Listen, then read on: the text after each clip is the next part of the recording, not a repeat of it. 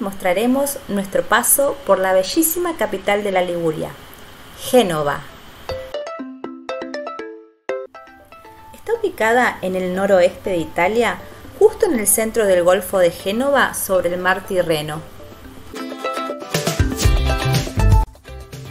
Nuestro paso por esta ciudad también lo hicimos en tándem, pero esta vez bordeamos todo el Golfo de Génova a través de la Ruta Nacional número 1.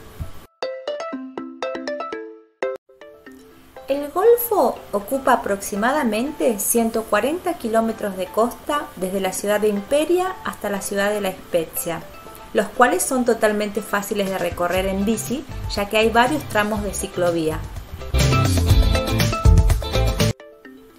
En nuestro caso, decidimos visitar la ciudad empezando el recorrido en el faro. Hasta el puerto antiguo son 3 kilómetros que conviene realizarlos a pie, ya que hay muchísimas cosas en las cuales conviene detenerse algunos minutos para conocer. La lanterna es como llaman al faro de Génova.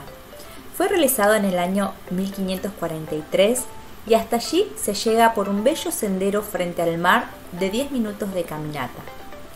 Son 107 metros de altura y se puede acceder hasta la primer terraza desde donde se puede observar la inmensidad del golfo.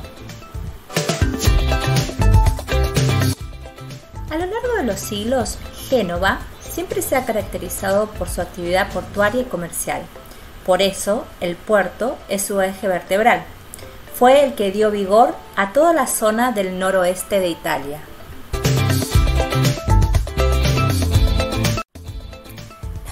Dársenas fueron realizadas en el año 1870, con amarres de veleros, puentes de altura y grandes grúas de carga.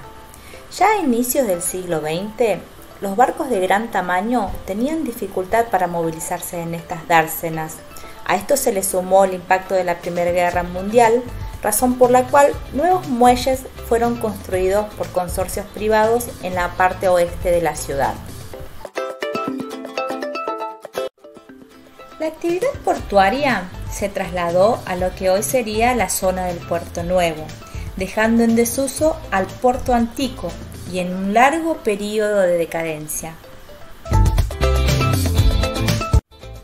Fue recién en los años 90 que cambió la situación del antiguo puerto.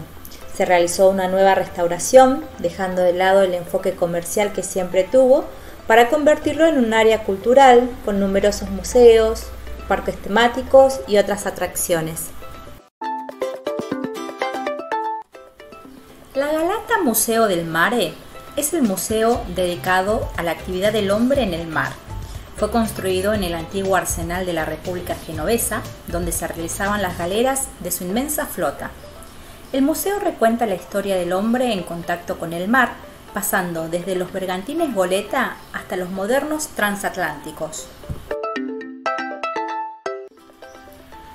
De Génova fue la puerta de salida de millares de italianos que a lo largo del siglo XIX e inicios del siglo XX comenzaron a migrar hacia América huyendo de la pobreza que dejaron los más de 20 años de desgastadoras luchas por la unidad italiana.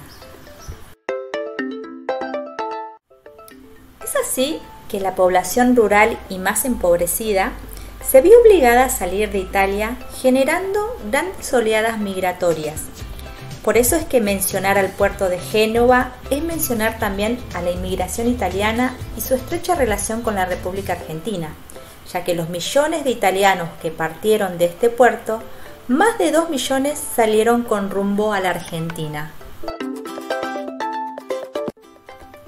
Tan grande fue la inmigración italiana que para el bicentenario del gobierno patrio argentino, el consulado donó al comune de Génova un mural colocado en el puerto que representa justamente a las grandes oleadas de inmigrantes italianos que partieron en búsqueda de nuevas esperanzas hacia la Argentina. El mural está realizado en un colorido mosaico que ocupa 28 metros en toda una esquina al lado del Museo del Mar. Llama mucho la atención a pocos pasos del museo un antiguo galeón español en el centro del puerto conocido como el galeón Neptuno. fue utilizado para la película Piratas en el año 1986. Allí también se puede visitar el acuario ubicado en el antiguo puente Espínola, siendo uno de los más grandes de toda Europa. Es un ascensor panorámico que ofrece una bellísima vista de toda la ciudad. Tiene 40 metros de altura y recuerda a las antiguas grúas portuarias que cargaban mercaderías en los barcos. Enfrente del ascensor panorámico se encuentra la biosfera. Se trata de una inmensa esfera de cristal que contiene un ecosistema de plantas y animales del trópico, metros, en el puerto antiguo, aún se pueden ver restos de la muraliete, parte de las antiguas murallas que formaban parte del sistema defensivo de la ciudad, conocidos como muramare, realizados entre los años 1551 y 1553. El Golfo de Génova también es conocido como el Santuario de los Cetáceos y desde el puerto se pueden realizar excursiones a mar adentro para hacer avistajes de ballenas y delfines. El casco histórico de la ciudad es uno de los más grandes de Europa. Sorprenden los estrechos callejones conocidos como los Caruggi, en donde a cada paso se pueden encontrar vestigios del glorioso pasado genovés. Plazas más conocidas de Génova es la Plaza Ferrari, donde se llevan a cabo los principales eventos de la ciudad. En el centro se encuentra la monumental fuente de bronce del año 1936. La plaza está rodeada por importantes palacios y edificios históricos conocidos como los Rolli, como por ejemplo el Palacio Ducal, la sede de la región de la Liguria, la Academia de Bellas Artes, el Teatro Carlos Felice, la estatua ecuestre de Garibaldi, el edificio de la Bolsa y así entre otros varios edificios. También en el centro de la ciudad se encuentra la casa de Cristóbal Colón, que contrasta con los modernos edificios de alrededor. Allí vivió con su padre hasta antes de comenzar con sus viajes por el mundo. Bueno amigos, aquí termina nuestro video de hoy con un paseo por la histórica Génova. Gracias por acompañarnos otra vez por otro de los paisajes italianos.